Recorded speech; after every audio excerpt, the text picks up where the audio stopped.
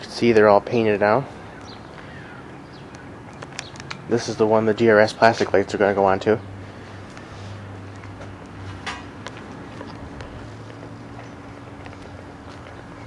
And that's the gate I got from Oak Street when they replaced it.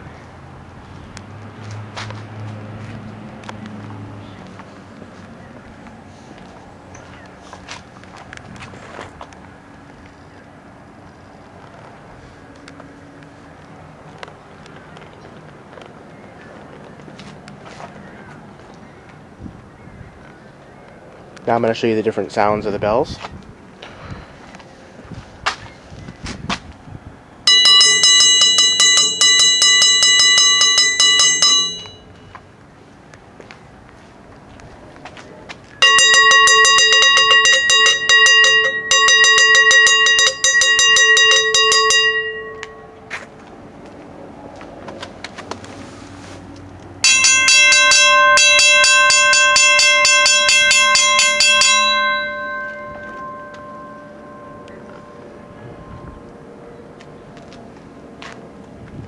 And these two lights here, sitting here, are going to be going on the back of that cross arm.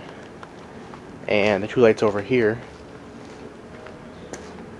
are going to be the side lights on this signal right there. They're going to go. And there's the long arms that were that used to be on this signal.